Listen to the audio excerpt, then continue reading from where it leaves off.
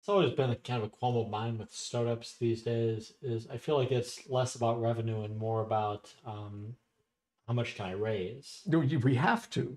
Yeah. We have to do. We have to ask how much can we raise, which is why I'm so bloody poor. Is because I keep telling people you can't do it, Yeah. or the amount you will need will keep me poor because it's a, it, it's an unbelievable amount of money. And Yeah. what we spent on our No, robot- agreed. When I when I state what it would take to develop a robotic system that people are interested in, they're like, it's got to be less than that. Come on.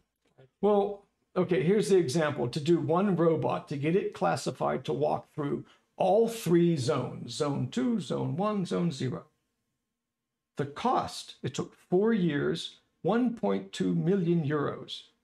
That's just the It's certification. like 1.6 million dollars. if I had to That, guess. that doesn't include the robot being destroyed in testing. Jeez, It doesn't include the They changes. just broke it.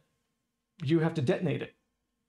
You basically take the robot and you take your flame-proof enclosure, fill it full of gas with all of your electronics in, fully functioning. God damn it! You can't even You- pull that stuff out. Nope, nothing comes out. It w- has to be as is. The only thing they do is drill a hole and tap it for the spark plug.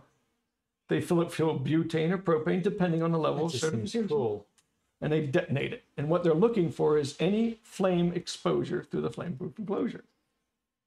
And then they'll take it and they'll take a one kilogram target, or I'm sorry, projectile at one meter, and they will turn your robot and aim this at any part they want and impact it to get an energy release. Wait, a projectile at one meter?